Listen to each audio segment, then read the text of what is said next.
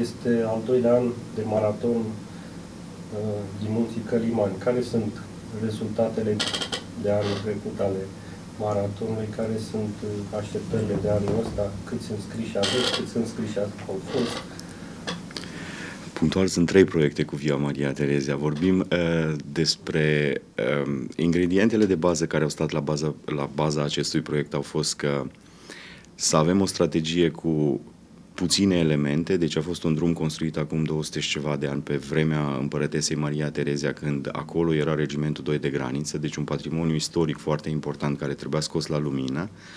Am desfăcut un drum pentru că Vroiam să atragem atenția asupra necazurilor pe care munții noștri le au și nu ne-a fost mai ușor altfel decât să convingem oameni să vină să vadă. Deci i-am convins să alerge, dar în același timp i-am luat și ca parteneri în acest proiect să vadă ce necazuri au acești munți. Și ne-a ieșit într-un fel bun, cred că a fost un manifest până la urmă acest proiect, care ne-a ieșit foarte bine. La prima ediție au fost 500 de oameni care au venit și când s-a deschis acest drum.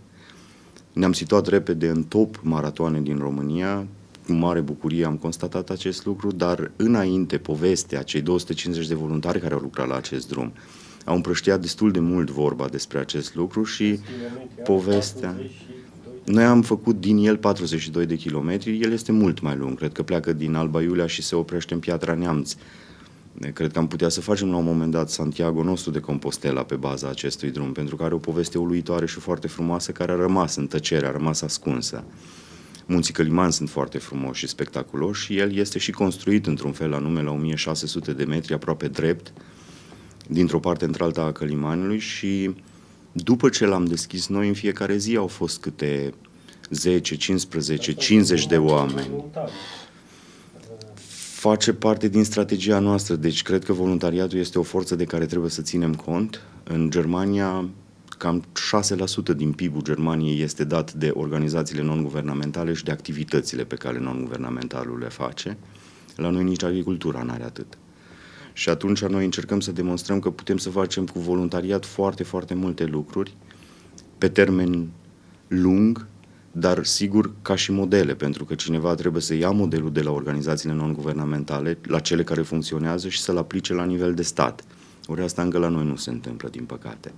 Deci, înainte de a construi un Dracula Land sau o piscină pe vârful muntelui unde ai o lună de vară sau pârtii de schi unde nu este zăpadă, eu cred că mai bine să folosim ce avem. Avem un patrimoniu natural foarte valoros pe care putem să-l arătăm și am convinge multă lume să vină să facă turism în, turism în România. Avem foarte multe povești istorice, povești care ar atrage. Avem foarte multe ape minerale, avem foarte multe băi termale, avem tot felul de lucruri de care noi, pro, nu, noi nu profităm și să exploatăm resursele la nesfârșit, la un moment dat nu va funcționa pentru că resursele se termină și atunci ce o să facem? Deci asta a fost povestea Via Maria Terezia pe uh, scurt, Acum, dar... Uh, recrutat atât de mulți voluntari care să lucreze în, în să, să refacă acest drum și, și ce a costat refacerea uh, drumului? Cred că am fi putut să luăm mult mai mulți. Deci a fost un voluntariat de anduranță mare, deci avea o forță calificată într-un fel sau altul. Nu puteam lucra cu mii de oameni acolo. Asta face parte din secretele de la Tășulează pe care nici eu, președintele și fondatorul, nu le mai știu. Anul acesta am avut uh, de făcut o împădurire pentru 10 hectare și în 4 zile am strâns pe Facebook 1500 de oameni în 20 de localități din țară. Semnalul este că lumea vrea să vină și vrea să vadă fapte și cred că asta este ceea ce pe noi ne definește. Deci la noi se pune mâna, se face practic, se vede, avem grijă de ceea ce facem acolo ce am făcut acolo? Am luat fiecare kilometru, l-am desfăcut, am elagat, deci toată vegetația care a intrat pe drum am curățat-o, am lăsat și naturii ce este al naturii, deci nu am făcut drumul cum era acum 200 de ani de 4 metri, l-am făcut cât să treacă o bicicletă sau un, o drumeț, un drumeț. Se este de altfel interzis uh, cu motocicleta, cu ATV-ul, nici nu se poate trece altfel, așa am făcut să, să fie. Am curățat bolovanii de pe acești 42 de kilometri, am cărat cred că singura organizație care a cărat lemnul înapoi în munți, am făcut signalistică cu 480 de stâlpi, Pe fiecare față sunt uh, informațiile pentru următoarea sută de metri de zi și de noapte într-un sens și celălalt. Deci a fost o muncă, unii din voluntari au participat 40 de zile cap-coadă la acest... Uh, și-au luat an sabatic, ca să zic așa, și au participat tot proiectul și cred că această poveste uh, nu mai este de nivel național pentru că au venit și la prima ediție și și la, acest, la această ediție pe care noi în, în 8 august o facem. Avem înscriși din 8 țări deja, aproape 400, fără să vorbim foarte mult despre acest lucru. Deci cine vrea și este interesat cunoaște activitățile noastre și ne bucurăm că avem foarte mulți oameni care vin, fotografiază, amendează. Noi nu îi lăsăm numai să alegere și povestim ce, ce se întâmplă, cum se întâmplă, cum ar trebui să fie civilizat uh, turismul la noi, cum ar trebui să ne intereseze, să ne pese cât de curat sunt, cât habitat am distrus în ultimii 25 dacă, de ani. Deci este un proces de educație. Să fiu voluntar, ce trebuie la dumneavoastră, ce trebuie să fac? Păi avem activitățile pe care le spunem și la care că poate participa oricine. Și anunț și după aceea ce urmează? Noi avem pe site-ul nostru și un fel de, de, de newsletter care se poate primi. Avem intenția noastră de voluntariat uh, durează mult. Da, da. Um, îmi pare rău să spun asta, dar este greu să ajungi voluntar la Tășuleasă Social. Primești un tricou abia după 2 ani de zile de activitate la noi. Nu se poate da un interviu ca să participi ca și voluntar de bază decât dacă ai activități înainte, măcar trei împăduriri sau uh, alte activități pe care noi le facem. Maratonul este una din activități. Deci întâi trebuie să vezi activitățile externe care sunt publice, la care poți participa și după ce te-ai învățat cu noi, după ce vezi cât este de greu sau cât este de ușor și dacă îți place, poți să fii voluntar de bază. Avem cam 80 de voluntari de bază pe care putem să-i luăm într-un an și am avut cam 1000 de cereri de voluntariat anul trecut, deci este foarte greu din cauza că sunt puține organizații care fac lucruri practice de adevăratele. Dar dumneavoastră ați pornit cu o școală de voluntariat. Uh, asta a fost începutul organizației, o școală de voluntariat. Da. Am pornit cu această școală de voluntariat de pentru că am vrut să fim... Ce trebuie să înveți ca să fii voluntar? Este, uh, uh, programul unui voluntar este destul de lung, deci noi ca să avem un voluntar de bază pe care să-l folosim în educația pe care o facem acolo, avem o pădure pedagogică, este singura din țară, Durează cam 2 ani de zile, deci de aceea acest primit de tricou. Noi nu suntem pentru voluntariatul de o zi, deci există acest de voluntariat și nu este rău. Dar noi trebuie să fim voluntari în fiecare zi și pentru asta trebuie o școală, așa cum pentru orice trebuie o școală.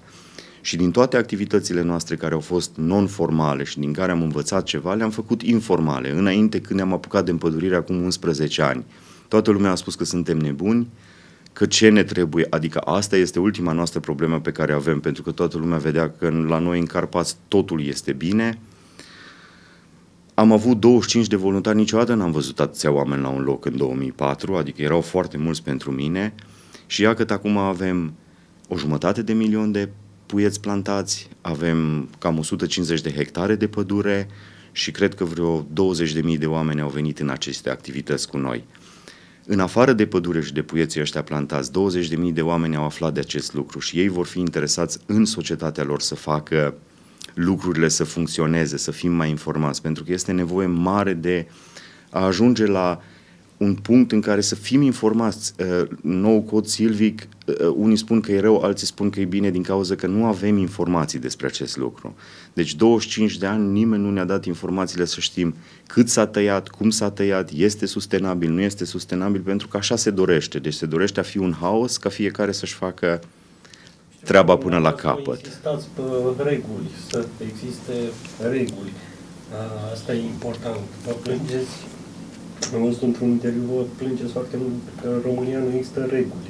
Uh, și repetați asta de, de mai multe ori, că nu ar trebui reguli, statul ar trebui să dea reguli. Și spuneți că autoritățile, statul, uh, nu numai că nu v-au ajutat, v-au pus și bețe în roate, iar la început, da. de o parte a fost cel mai bine. Da, masonii numeau asta moarte civică, deci o ignorare totală pe noi ne-a făcut într-un fel sau altul să ne dezvoltăm, într-adevăr. este nevoie de reguli care trebuie să aplicate. Deci prima lege forestieră și primul parc național din lume a fost Yellowstone. S-a dat legea și nimeni n-a aplicat-o. Zece ani mai târziu cineva a adus armata și a început să păzească pădurile. De aceea ei au existat. Noi avem tot felul de legi pe care nimeni nu le respectă și atunci trebuie să trecem de la forma asta de rânduială la cea de reguli. Asta este, cred că, ceea ce spun eu în toate locurile. Deci trebuie să mai facem încă un pas să ne și respectăm legurile pe care le dăm. Totdeauna noi, ni se atrage atenția cu ceva nou care se face, o nouă lege a educației, un nou cod silvic, nu mai știu câte alte legi, dar noi le avem numai că nu le respectă nimeni. Ori asta se va face în momentul în care cutia de rezonanță a celor care cer să fie respectate regulile este mai mare decât a celor care nu o respectă. Și de aceea traseul acesta lung și prin orice metodă chemăm oameni să, alerge, să alerge, dar de fapt noi îi chemăm să vadă ce dezastru este în Munții Carpați. Chemăm oameni să facă turism responsabil în Munții Carpați și vorbim despre stânele care au zeci de câini și care practic în România este cunoscută pe forumurile internaționale ca foarte frumoasă, dar să nu te duci acolo că te mănâncă câinii. Ori asta este o problemă pe care cred că am putea o rezolva printr-o regulă și o lege aplicată simplă într-o lună. Nu ar trebui să așteptăm zeci de ani pentru acest lucru. Deci cred că de aici este vorba de regulile pe care noi ni le propunem să le respectăm. Dar asta pornește de la fiecare dintre noi. Deci fiecare dintre noi trebuie să respecte aceste reguli și să și le impună într-un fel. Uh, când ați început acțiunile acestea de împădurire, uh, vă duceați în locuri care ne existau defrișări ilegale și uh, replantații uh, copaci, dar ați avut și probleme, adică cu, cu oamenii de acolo, cu uh, ați fost, da. uh, nu știu, pus în situații dificile, cu puteți să ne povestiți câteva uh, este foarte, este foarte frumos să faci proteste în București și în orașele mari și este mult mai greu să te lupți cu ei acolo la fața locului. Nu spun că protestele sunt rele. Datorită acestor proteste, acum se vorbește despre asta mult mai mult decât am fi putut noi să o facem. Am început să plantăm în locuri despădurite abuziv, prin retrocedări abuzive, cu copii de hoților de lemne și am intrat, la început eram considerați așa un fel de proști care facem o muncă care nu fac alții. Dar pe urmă, când am început să atragem atenția și am început pe ei să înlocuim cu ceva, am început să aducem o masă critică care se interesează de, de devalizarea asta pe care s-a făcut, s-a făcut în ultimii 25 de ani, bineînțeles că i-am încurcat. Am avut în 2007 și bucuria de a-l avea în campusul nostru pe președintele țării și i-am povestit și lui acest lucru. Noi n-am mai avut de unde să cumpărăm lemne după aia, pentru că nimeni n-a mai vrut să ne vândă legal. Deci tot, totdeauna era oferta era ilegală ca să spună, uitați, ăștia vorbesc una și fac alta. Am adus lemnul, lemnele în iarna aceea, după ce am răbdat mult frig, în mijlocul pădurii, să ne înțelegeți, de la 220 de kilometri. Transportul a fost mai scump decât lemnele. Deci nu a fost o luptă neapărat fățișă pe față, cu cuțitele scoase. A fost și de aia, dar a fost așa o luptă care te-a adus în momentul ăla de nebunie. Cred că momentul ăsta eh, l-au simțit milioane de români care nu mai sunt în România când a spus aici nu se poate și trebuie să plecăm. Între timp, cred eu că autoritățile, cel puțin din Bistrița Năsău, Suceava, acolo unde avem noi activitățile cele mai multe, au înțeles acest lucru și acum trebuie să ne protejeze și să țină cont de părerea noastră și să-și dorească să facem parteneriat cu ei, pentru că avem posibilitatea aceasta de mișca mase, de a aduce oameni să facă fapte. Și uh, Asta s-a făcut din cauza acestui dialog pe care l-am început acum 15 ani și care n-a dat roade la început, dar tenacitatea noastră i-a adus la aceeași masă și putem să facem un dialog acum. Eu cred că asta este și soluția pentru pe termen lung a pădurilor. Deci trebuie să aflăm a ce s-a întâmplat până acum, transparent, cu un mediator foarte bun care să ne aducă la aceeași masă nu numai pe silvicultori, că ei totdeauna vor face codul lor silvic, trebuie să-i aducem pe toți stakeholderii interesați de acest lucru și asta trebuie să facă un mediator puternic, nu știu cine ar fi el în România, dar să, nu, să importăm unul, dacă nu. Și de acum încolo trebuie o altă mentalitate pentru a gestiona pădurile. Eu cred personal că aceasta este cea mai mare problemă pe care o avem noi de mediu din România. Deci este mult mai mare decât toată Roșia Montana la un loc, fără să credeți că Roșia Montana nu este foarte importantă. Dar avem, 300, avem 850.000 de gospodării montane. Lemnul exploatat în aceste condiții de acum s-ar putea epuiza în 10 ani, cel puțin molidul. Ce facem cu 3 milioane de oameni care nu o să mai aibă ce mânca, chiar dacă în momentul acesta participă activ la acest furt?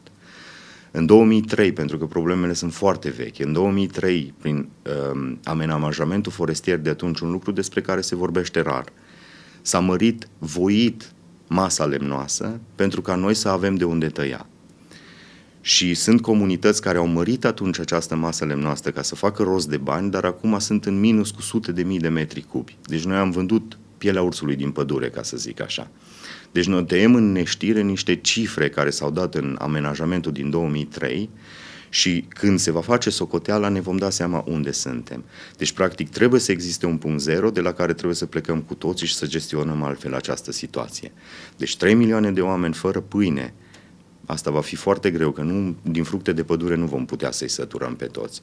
Și este o problemă care politicienii ar trebui să o înțeleagă și să nu exploateze resursele așa repede, repede, toate să transformăm în bani, pentru că tot ei vor trebui să gestioneze problemele și atunci cu problemele lor.